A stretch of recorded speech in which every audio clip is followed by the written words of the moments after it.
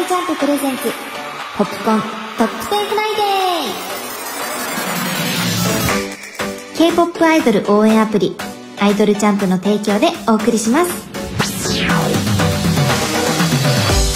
こんばんは AKB48 本田仁美です。アプリアイドルチャンプの投票機能と連動した K-POP のオリジナルチャートをお届けする番組。それがアイドルチャンプ presents POP K TOP10 Friday。番組ハッシュタグはカタカナでポップコーンです。さて今日から12月になりましたね皆さん年末に向けて少し慌ただしい時期かもしれませんが、アプリアイドルジャンプでも年末ならではの投票が先週から始まりました。2023年のベストソングが決まるソングオブ2023。ただいま女性部門の予選の投票受付中です。そうですね。今現時点での上位を見てみると、お二重やミサモも入ってますね。そしてですね、男性部門の予選は今週の月曜日に投票が締め切られました。ということで、今日の1曲目はこちら。男性部門の予選で見事1位に輝きました。BTSV でスローダンシング。お送りしているのは、ソングオブ2023男性部門の予選で1位に輝きました。BTSV でスローダンシングです。V さんおめでとうございます。女性部門の予選結果がどうなるかも気になりますね。ぜひ、アイドルジャンプのアプリからチェックお願いします。ソングオブ2023の最終的な結果は12月最後の放送で発表予定です。さあ、ここからはアイドルジャンプ This Week's Top 10です。アプリアイドルチャンプの投票機能と連動した K-POP のオリジナルチャートをお届けします。それでは、アイドルチャンプ This Week's Top 10最新11月27日付のランキングです。まずは第10位から6位まで一気にご紹介しましょう。第10位、しじり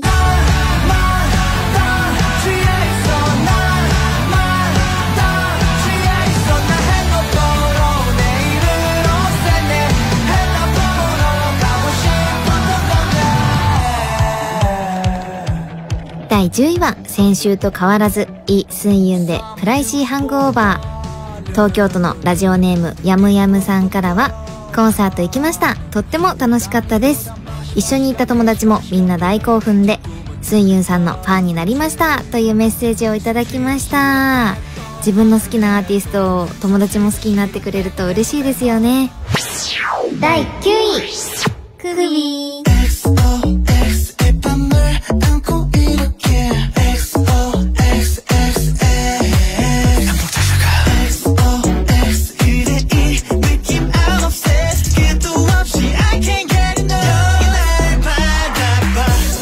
第9位は先週7位からのダウン。ムンジョンオープで XOX ムンジョンオープさんはこの曲も収録されたミニアルバムの発売を記念して昨日渋谷でサイン会を行っていました。昨日渋谷にいらっしゃったんですね。第8位。パリ楽しんで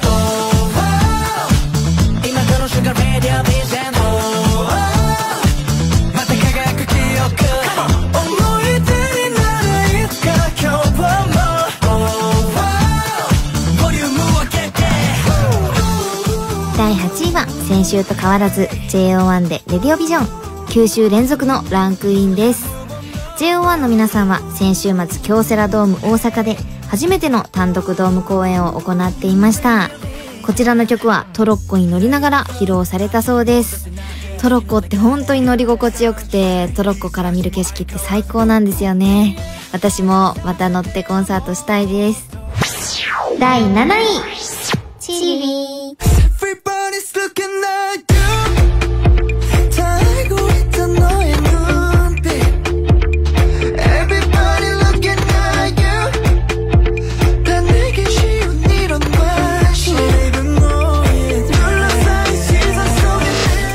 第7位は先週6位からのワンランクダウン。 A.C.E で Effortless Korean Version。メンバーの兵役を経てソウルで行われたおよそ2年ぶりのコンサートのチケットは完売。オンラインで世界中のファンが復活の姿を見守ったそうです。第6位。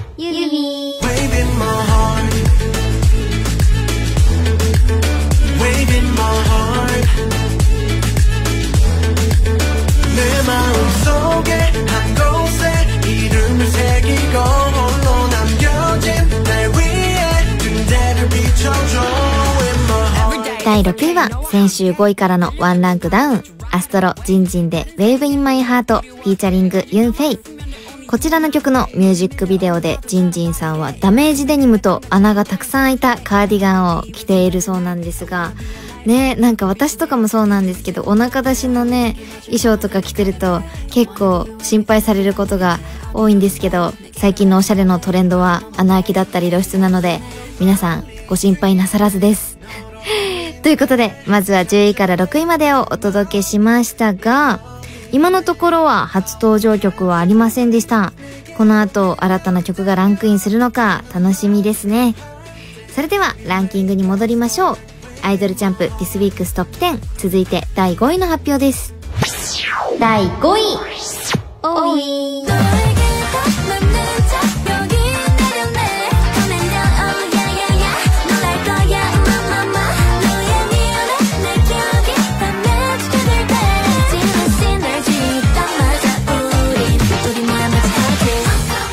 第5位は先週3位からのダウン。20でハートリスメンバーがこの曲を踊るパーセントチャレンジ動画も話題になっていました。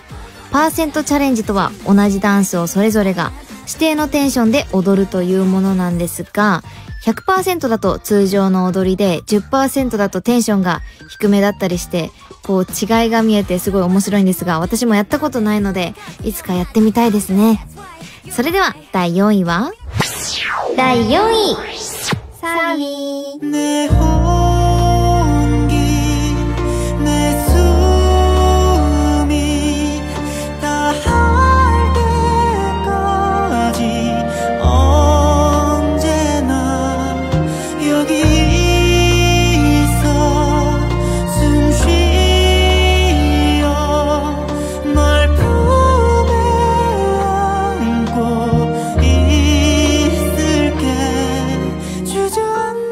4位は初登場、スーパージュニア、りょうくで It's OK。韓国語のタイトルはアムゴットハジアなどで、直訳すると何もしなくていいよっていう意味なんですが、先月行われたスーパージュニアのデビュー18周年ファンミーティングでこちらの曲がリリースされることが発表されました。私スーパージュニアさん、共演したこと、あの、知ってるお兄さんとかの番組でひとるさんとか、あとは、しんどんさんが私の誕生日の時に誕生日広告を見に行って写真撮ってくださった写真を SNS に載せてくださっててかなりびっくりしました。とても嬉しかったです。それでは今週のトップ3に行きましょう。第3位は？第3位。3位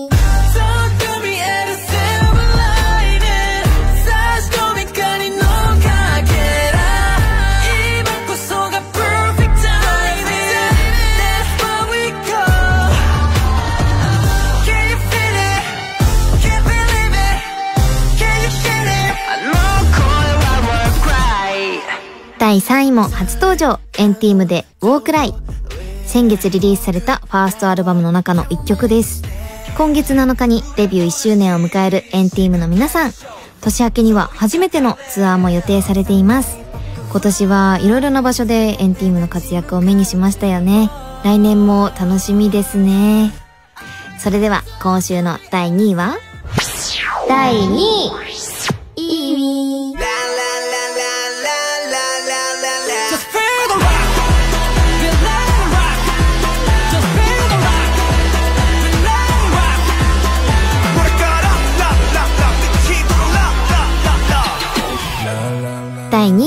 先週9位からの大幅ランクアップ、ストレイキッズでララララ。こちらの曲はビルボードのメインシングルチャートの HOT100 にもランクインしています。K-POP のボーイズグループによるランクインは BTS に続いて2組目の快挙だそうです。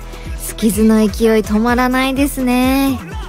それではアイドルジャンプ This Week's Top 10今週の1位は？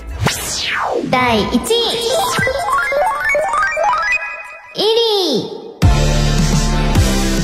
3週連続の第1位です。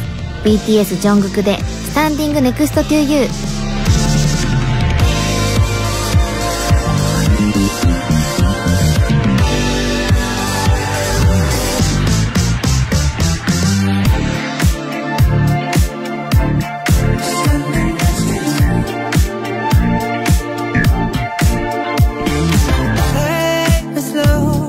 I push up on this funk and get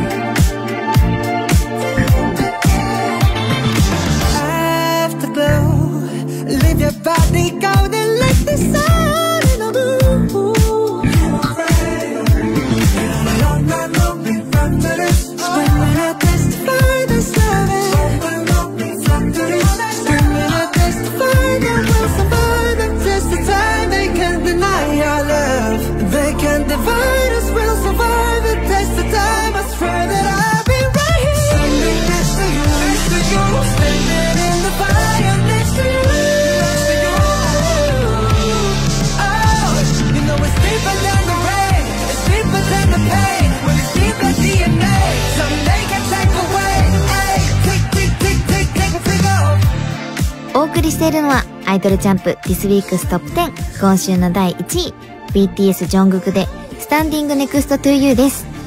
3週連続の第1位、おめでとうございます。兵庫県のラジオネーム K さんからは、BTS 中でもジョングク推しです。ジョングクの歌声、容姿、仕草、すべてが好きです。というメッセージをいただきました。すべてが好きだなんて言われたらもうめちゃくちゃ嬉しいですよね。この番組では月間ランキングの1位を4回獲得しているジョングクさん。このまま12月の月間 MVP にも輝くのでしょうかというわけで、今週もたくさんの投票ありがとうございました。以上、アイドルチャンプ This Week's Top 10でした。この後は韓国出身のアーティスト、ラオンさんが登場です。アイドルチャンプ presents、POP K TOP10 Friday。アイドルチャンプ presents、POP K TOP10 Friday。アイドルチャンプピックアップアーティスト続いてはアイドルチャンプピックアップアーティスト今週は YouTube と TikTok の総フォロワー数が500万人超えの韓国出身のアーティストラオンさんがこのスタジオにやってきてくれましたまずはご挨拶お願いします안녕하세요한국과일본에서가수활동을하고있는라온이라고합니다 반갑습니다ラオンさんありがとうございます ね日本のラジオは初めてですかね처음입니다ああ初めてだということで緊張しています可愛らしいねでもすごい上手ですね日本語がありがとうございますよろしくお願いしますよろしくお願いしますえっと YouTube と TikTok の総フォロワー数が500万人超えということですごいですよね本当に ね、ありがとうございます。はい。ね、何かこうフォロワー数が伸びたきっかけとかって何かあったんですか？제가그나루토의실루엣이라는노래를올렸었는데그노래가갑자기그외국에서확바이럴이터지면서네그계기로갑자기구독자가확늘어났던 けが手をえっとあの日本のアニメの「ナルトの「シルエット」という曲がこうオープニング曲であるんですけどその曲の再生数が急にあの海外で伸びてそこからあのチャンネルの登録者とかも増えたっていうふうにおっしゃってましたね、はい、えー、じゃあ本当になんかそれきっかけでねなんかどれがきっかけになるか分かんないですけどね本当にすごいですね。さて、これまで多くの日本語楽曲のカバーをしてきたランオさんですが、先月の22日にセカンドカバーデジタルアルバムラオンリーボリューム2をリリースしたということで、おめでとうございます。ありがとうございます。はい。このアルバムには、夜遊びのアイドルだったり、世界の終わりの RPG など、カバー曲が8曲収録されているんですが、こちらの曲はラオンさん自身が選んだ曲なんですか 네, 어, 제가 직접 골라봤는데요. 사실 라온리 1이 있는데 라온리 1에서는 조금 더 고전 곡을 골라봤다면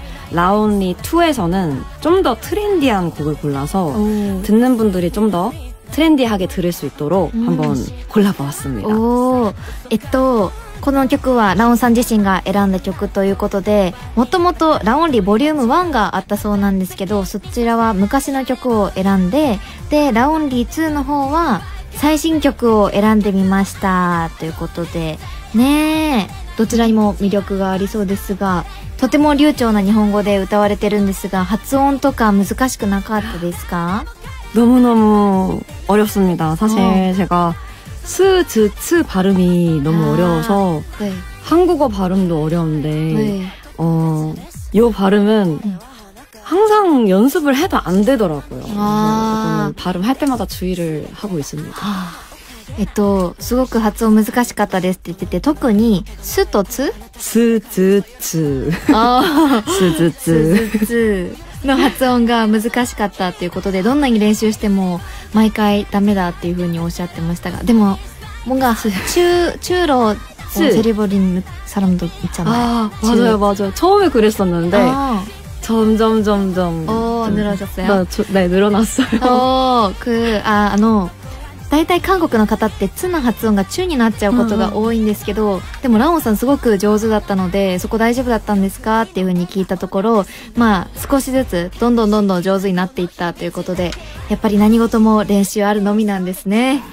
はい。それでは最後にそのカバーアルバムの中から1曲ラオンさんの曲をお届けしましょう。こちらはどんな曲か教えてもらえますか？ 어, 아, 요 곡은 일단 초큐메이라는 분이 원곡자인 분이신데요.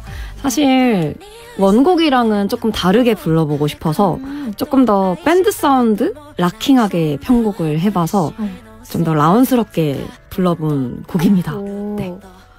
えっと、こちらの原曲は、えっと、4人組バンドの超救命さんの、えー曲なんですけど、ちょっと原曲とは違う雰囲気で歌ってみたくて、 バンドサウンドにアレンジして、ご編曲して歌ってみました。ということで、ね、そちらの曲を、それでは、えー曲紹介お願いしたいと思います。はい。それでは聴いてください。上級メインのカバーです。ラウンであなたの恋人になりたい？お送りしているのはラオンさんであなたの恋人になりたいです本当に日本人が歌ってるかのようにもう発音もお上手でねびっくりしちゃいますよねそしてですねラオンさんからリスナーの皆さんへプレゼントもいただきました貴重なサイン入りチェキを2名様にプレゼントということで詳しくは番組公式 X のチェックをお願いしますそして、ラオンさんにはこの後6時30分頃に、オーディと Spotify で配信されるアフタートークにもお付き合いいただきます。ラオンさん、アフタートークもよろしくお願いします。よろしくお願いします。以上、アイドルチャンプ Pick Up Artist でした。 POP K。アイドルチャンプ presents POP K TOP10 Friday。東京 FM アイドルチャンプ presents POP K TOP10 Friday。アプリアイドルチャンプの投票機能と連動したランキングに加えラオンさんとのトークもお届けしました。ラオンさんすごく素敵な方だなと思いました。そして顔がものすごくちっちゃかったです。ねいつか一緒にお出かけとかできたらいいななんて思います今週のゲストラオンさんの曲は来週ランクインするのでしょうか？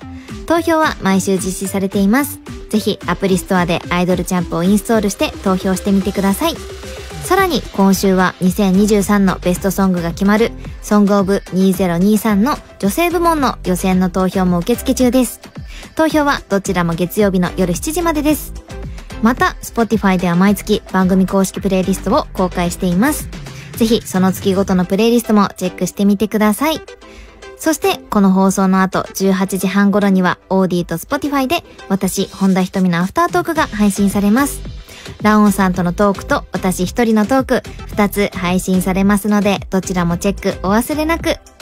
アフタートークでもメッセージを紹介していますので、私、本田瞳への質問や、一押しの K-POP アーティストへの応援メッセージなど、番組ホームページの投稿フォームからぜひ送ってください。それではまた来週金曜日にお会いしましょう。AKB48 本田瞳でした。韓国行ってきまーす。